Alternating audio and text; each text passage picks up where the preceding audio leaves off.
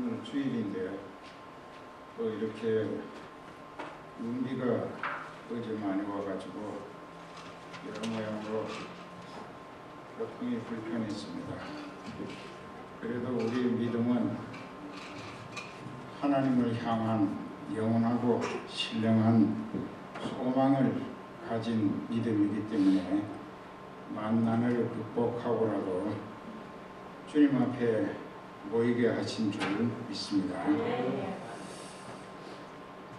저번에 설교할 때에 사람들이 믿음으로 살지 아니하면서 세상 사는 생활을 통하여 여러 가지 실패와 절망과 고통 또 질병이나 또 죽음에 직면하게 되는 여러 가지 환란을 당하게 되면은 그것이 마치 자기 탓이 아니냐. 다른 사람들에게 원인을 결부시켜서 원망과 불평을 쏟아내기도 하고 또는 자기가 믿음 생활이 형편없는 생각, 말, 행동 완전히 불신자보다 더 못한 처신으로 살아서 자기가 지은 죄값으로 당하게 되는 결과임에도 하나님을 원망하는 하나님이 너무하신다든가 하나님이 왜 이렇게 나를 외면하시는가 하는 것은 그 해답이 하나님께 있는 것도 아니고 자기 자신에게 있다는 것을 깨닫지 못하는 것이 불신앙을 가져오게 되는 무지라는 것입니다. 근데 많은 사람들이 교회는 다니는데 교회 다니는 것으로 자기가 하나님의 마음에 들고 하나님은 자기 하나님이 되어 주시고 자기만을 위해서 방패도 되시고 구원도 되시고 또 해결사도 되시고 성공을 위한 능력도 되어 주신다라고 생각하는 이 미신적 기대 심리는 이건 릴리주스 마인드라고 해서 타락한 사람들의 종교 심리에 불과하다는 것입니다. 성령은 분명히 우리에게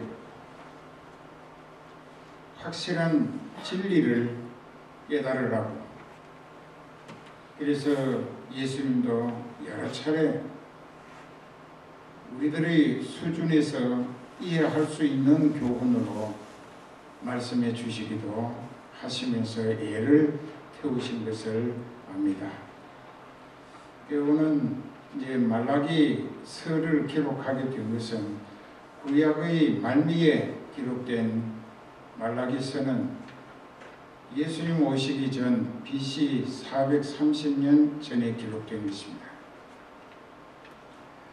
이 말라기라고 하는 선지자는 하나님의 택하심을 받아서 성령으로 사로잡히고 그 성령이 말하게 하심을 따라 대언했던 아주 칼날같이 예리하고 또 직설적인 그런 내용으로 설교를 계속해 갑니다. 이 말라기서를 종합해서 분석해 보면은 1장 1절에서 5절까지는 이스라엘을 향하신 하나님의 극진하신 사랑을 하나님께서 천명하십니다. 천명이라고 하는 것은 다시 밝히신다는 뜻입니다. 내가 너희를 얼마나 사랑했던가 하는 것을 피력하시는 말씀이에요. 하나님은 자기 백성을 위하여 얼마나 사랑하셨는가.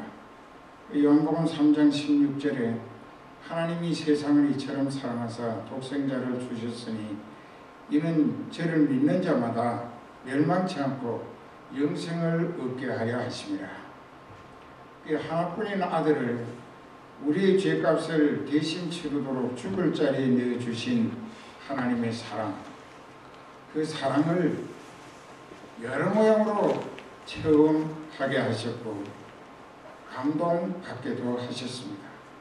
그런데 그것은 반짝하고 그 순간에는 눈물도 흘리고 감동을 받기도 합니다.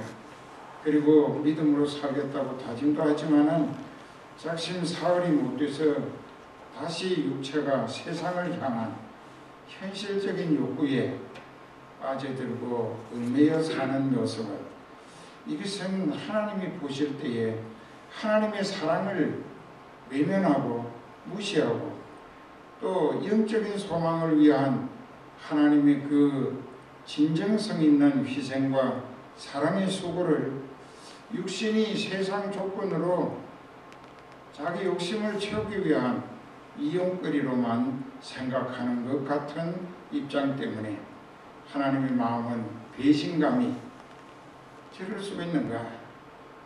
내가 살리는데 병도 내가 고쳤고 또 원수의 멍해를 벗어나게 했고 원수의 채찍을 피하게 해주고 가나안 땅에 다시 돌아와서 편안하게 안주하면서 자기 수고의 몫은 자기 것이 되도록 자유인으로 살게 해 주셨는데 이 백성들은 계속 보이지 아니하는 마귀의 사슬에 얽매인 채로 지옥길에 끌려가고 있다는 이 안타까운 실상, 그 실질적인 상태가 하나님의 마음을 너무나 힘드시게 아프시게 해드렸던 거예요. 그래서 말라기 1장 1절에서 5절까지는 이스라엘을 향하신 즉 70년간 바벨론의 포로 생활을 끝내고 하나님이 예레미야를 통하여 약속하신 대로 가나안 땅으로 되돌아오게 해 주셨는데 그냥 오게 하지 아니하시고 70년 동안 인권 유린당하고 노동력 착취당했던 그 모든 대가를 한꺼번에 다 챙겨 나오도록 그래서 그 돈 가지고 와서 타버린 예루살렘 성전을 재건하고 하나님과의 관계가 다시는 이스라엘이 육체로 말미암아 영적인 관계가 원하게 하는 일이 없기를 역사해 주셨는데 그 백성들은 다시 육체로 돌아가 버렸습니다.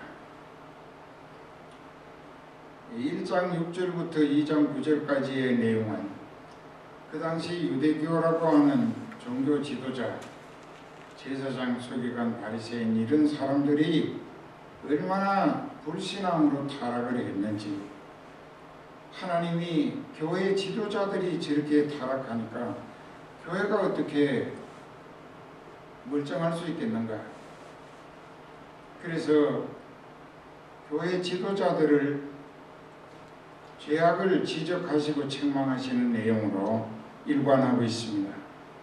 그 다음에 2장 10절부터 3장 15절까지는 그 백성 즉 하나님이 그토록 사랑하신 이스라엘이 하나님 앞에 오만 방자하게 하나님이 없는 것처럼 무시해버리고 완전히 불신앙으로 육체의 본능을 따라 사는 죄악들을 낱낱이 지적하시며 하나님과의 관계를 원치 않는 것처럼 살아가면서 그들을 살리시는 하나님을 배운 망덕하고 그래서 그들의 신세가 전날에 얼마나 비참했던가를 상기시키시는 말씀을 하십니다.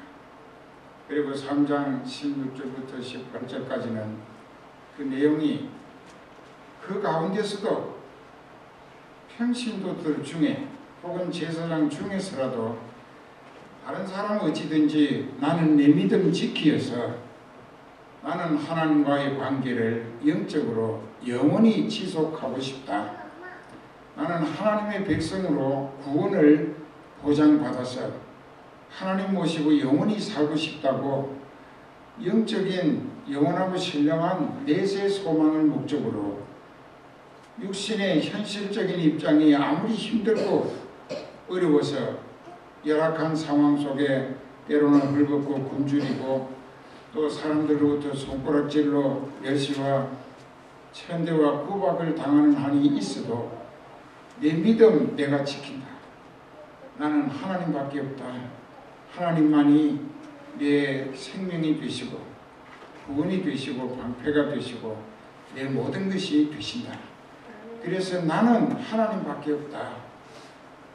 이렇게 믿음의 정절을 지키는 사람들 그 사람들을 명단을 기록하는 기념책이라고 하는 것을 하나님이 가지시고 그 기념책에다가 그런 믿음의 정절을 지키면서 하나님 제일주의, 말씀 절대주의, 그리고 영적 소망을 위한 목적으로 살아가는 그 백성들에게 그 이름을 하나님의 기념책에 올리고 등록을 시켰어요.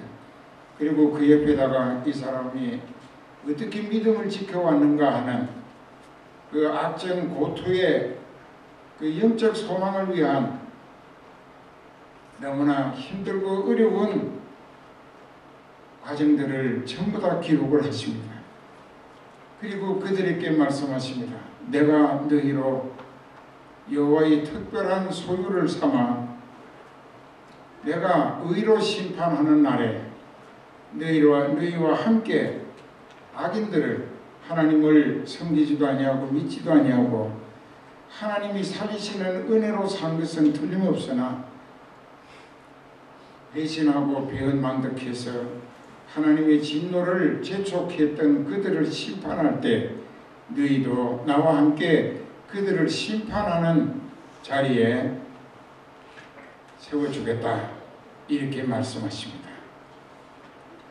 그래서 하나님은 그런 사람들 믿음의 정절을 지키는 사람들 그러니까 흔히들 그럽니다. 뭐 다른 목사님도 그런데 목사님들도 그렇게 얘기를 합니다.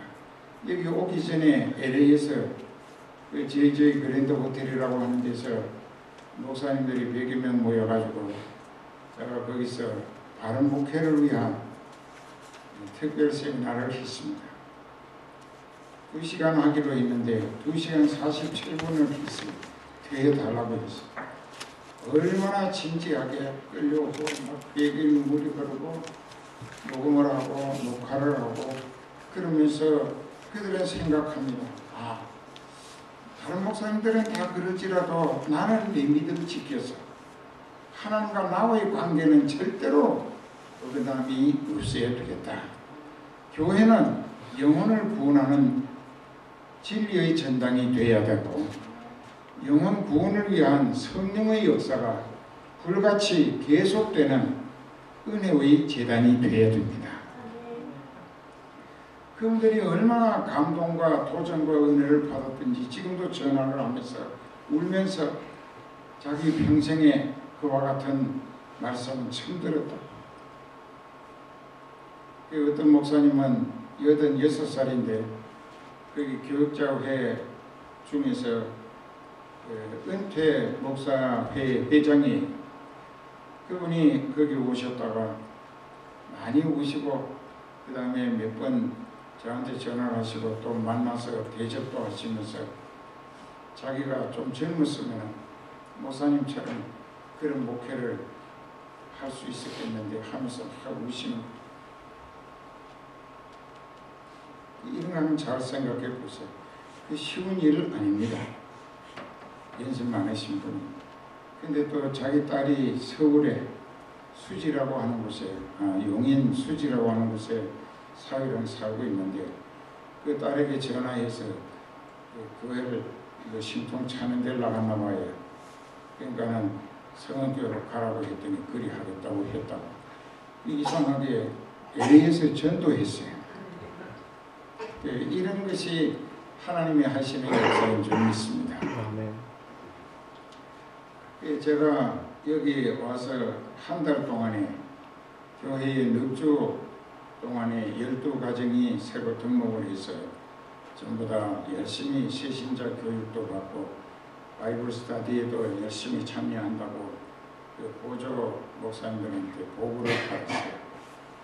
교회는 성령이 불같이 능력의 역사로 완악한 심령들이 회개할 수밖에 없도록 성령의 불에 녹아져야 되고 깨어지고 부서지고 허물어져야 됩니다. 그래서 영적인 사람으로 거듭나면 하나님의 특별한 소유가 되서 그 하나님의 기념책에 어떻게 기념책이라고 하는 것을 잘 기억하세요. 반드시 기념책은 있습니다.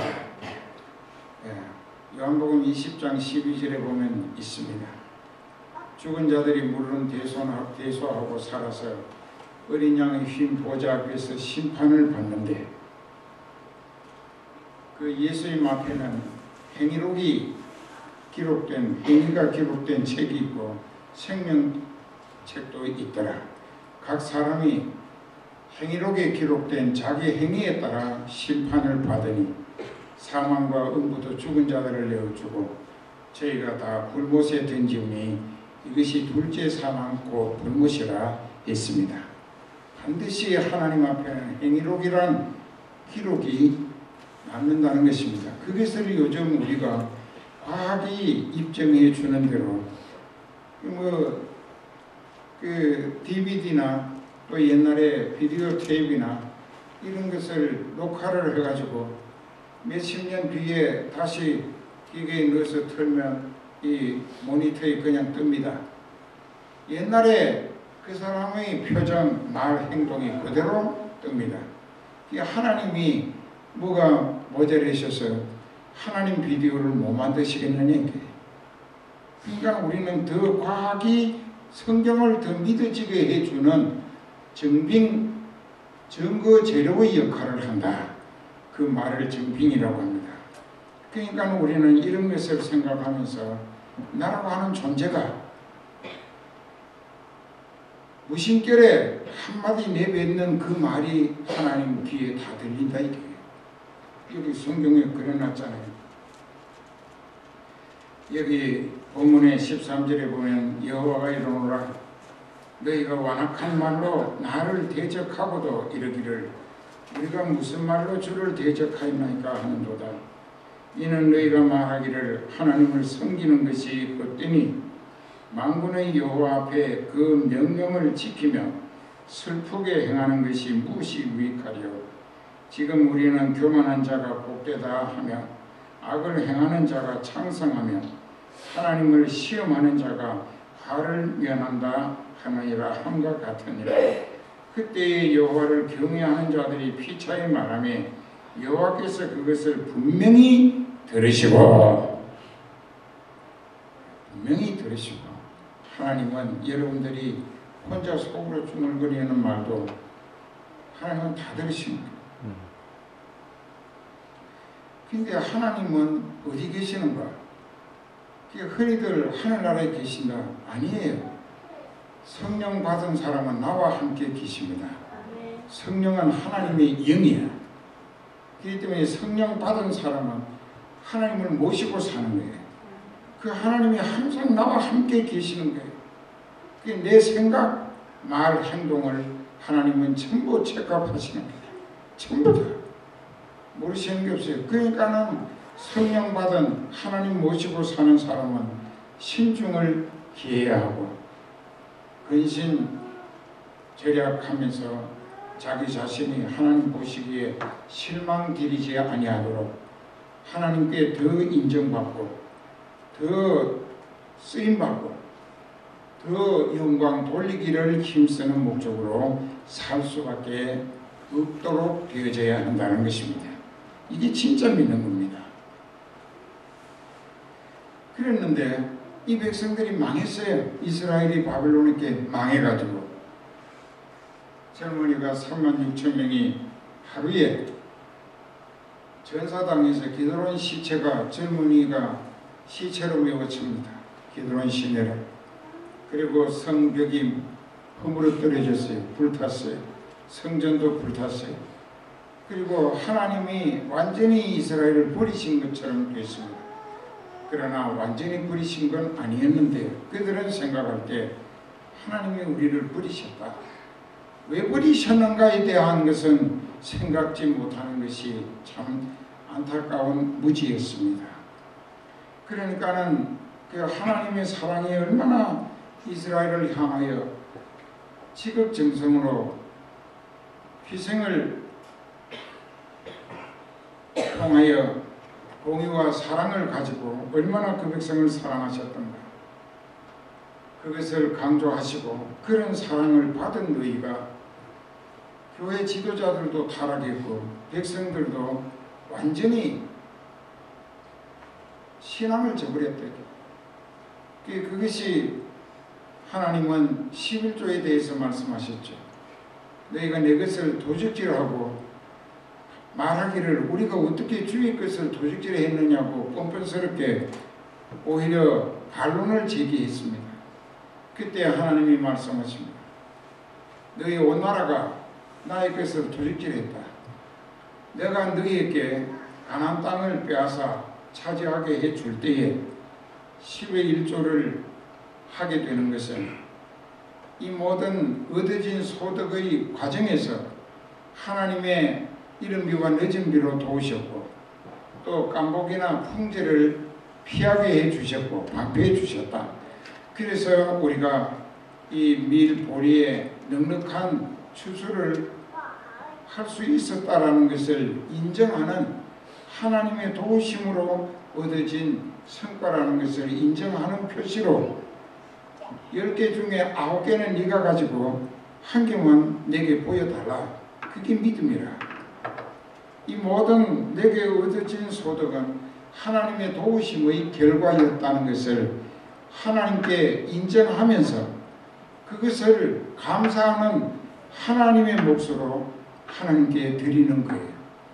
그 만일 거꾸로 하나님이 내가 도와줘서 네가 그렇게 흥년에 추수를 하게 됐으니까 아홉 개는 내게 돌리고 한 개만 네가 가져 했으면은 이 인간들이 얼마나 시험 들겠어요. 아, 여러분들 같아도 하나님은 욕심쟁이라고 했을 겁니다. 근데 열 개를 주시면서 얻어지게 해 주시면서 하나만 내게 보여줘도 내가 그 너의 믿음이 나로 하여금 너를 계속 도와줄 수 있는 보증이 되도록 해주마. 예, 우리도 11조 합니다.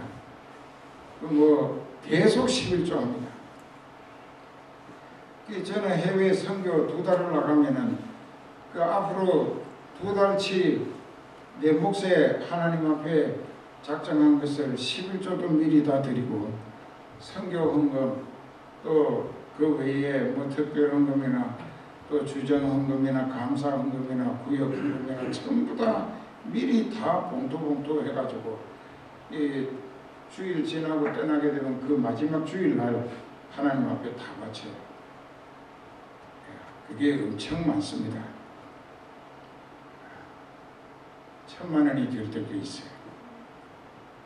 왜 그러냐? 그렇게 내가 혹시 해외에 나가서 하나님이 급하게 데려가시면 내가 봉교회에 드린 그것은 하나님 앞에 내 몫으로 기록이 되어 있을 것이다.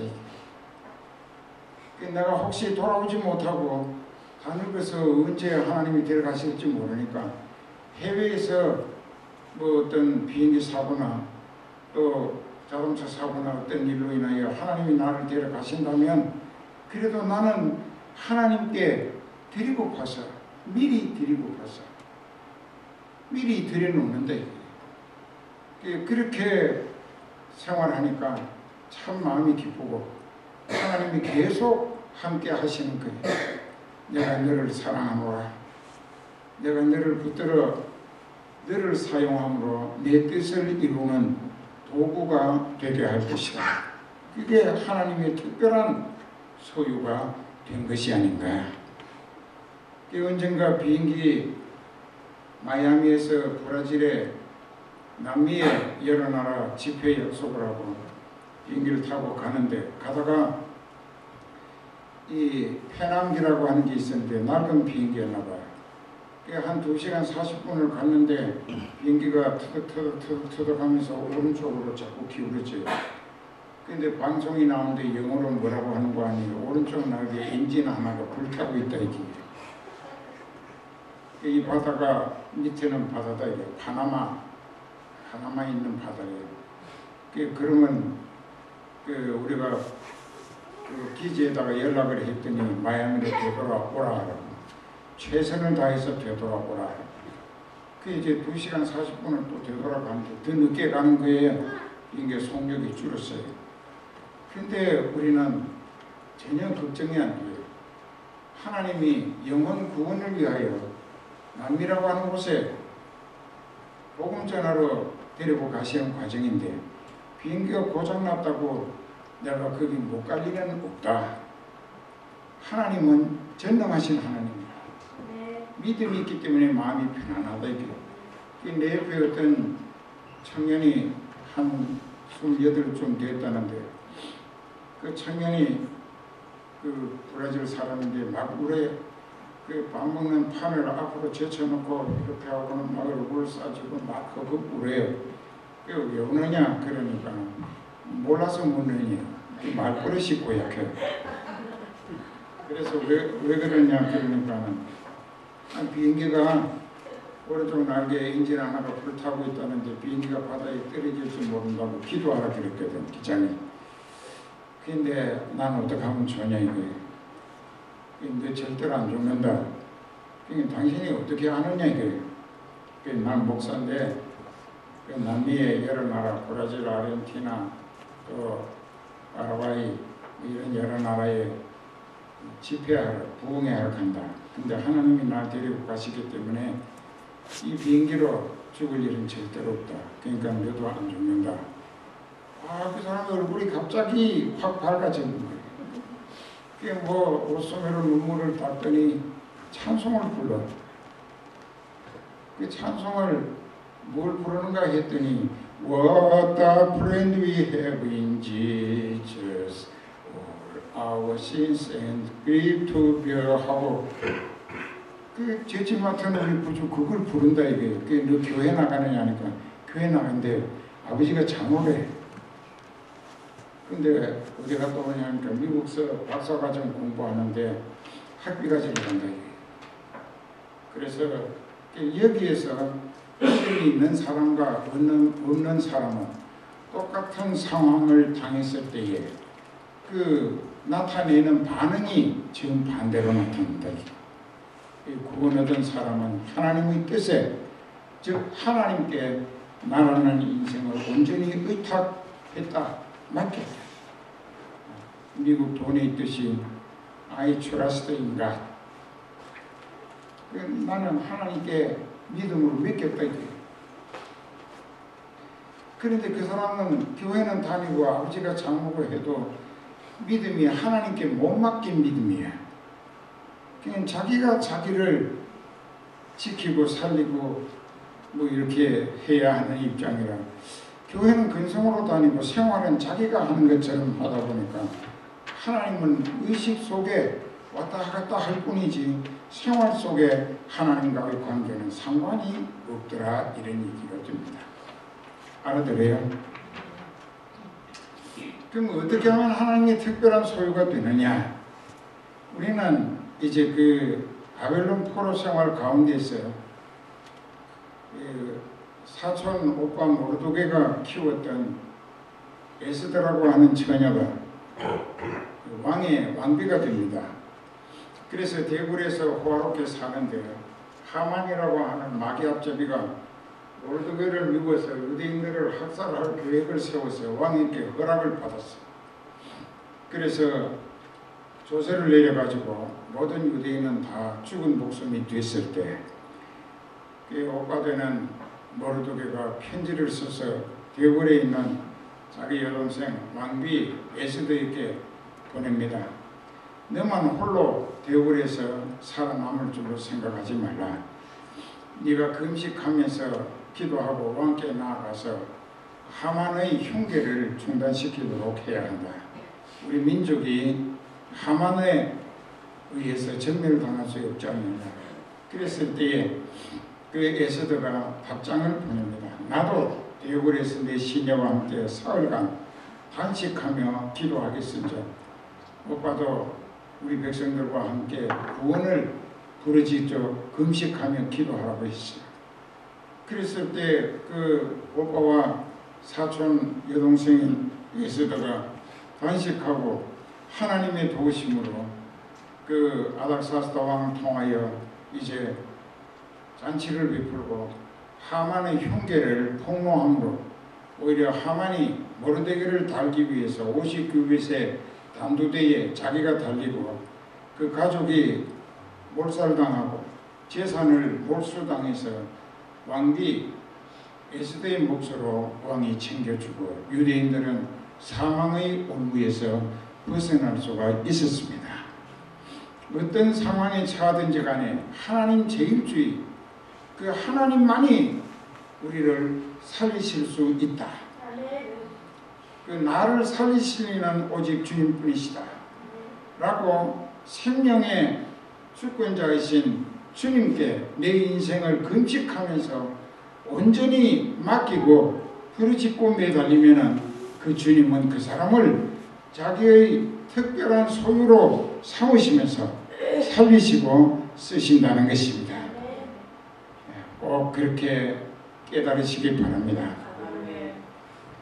한 가지 더 설명을 하면 다니엘서 3장 12절 이하에 보면 다니엘의 신앙 동지인 사드랑 메삭 아벨노고의 이야기가 나옵니다.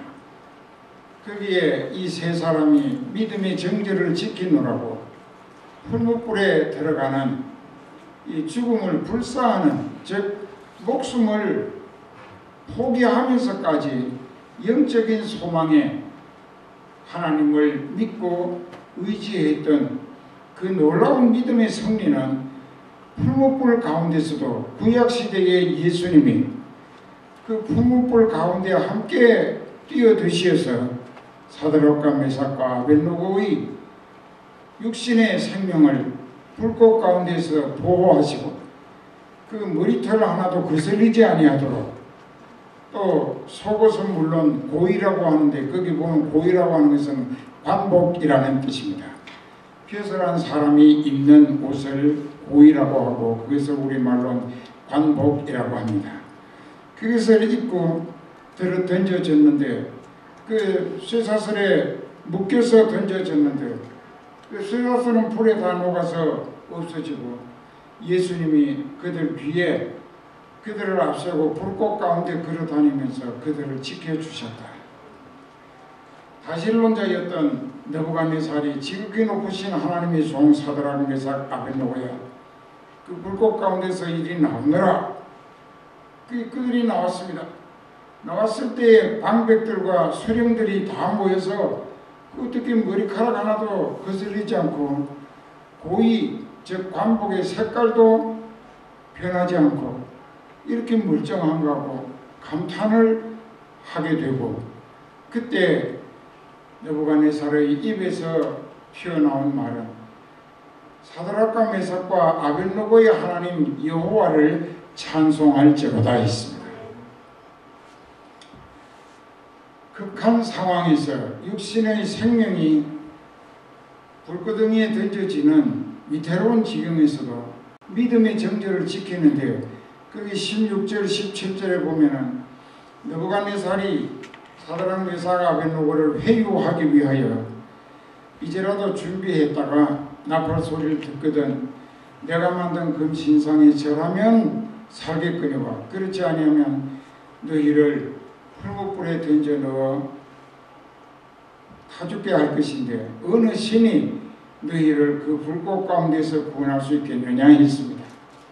그때 이 두 사람의 대답은 만일 그리 하실 것 같으면 우리의 하나님 여호와께서 우리를 그 불꽃 가운데서 건져내 줄 것이고 만일 건져내 주시지 않는다 할지라도 우리가 거기서 다 죽는다 할지라도 우리의 소망은 영적으로 하나님께 있기 때문에 믿음의 정절을 지키기 위하여 절대로 왕이 만든 거짓 신상에게 절하지 않을 줄을 알라고 했습니다.